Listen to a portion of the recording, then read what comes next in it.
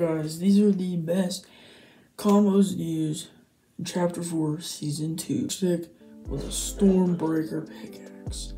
This is an awesome combo I've been using Chapter 4, Season 2.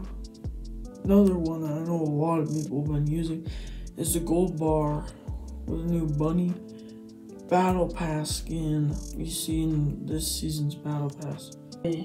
Next up is the red jade with the manic pickaxes. This is one of my favorite combos to use, especially the edit style.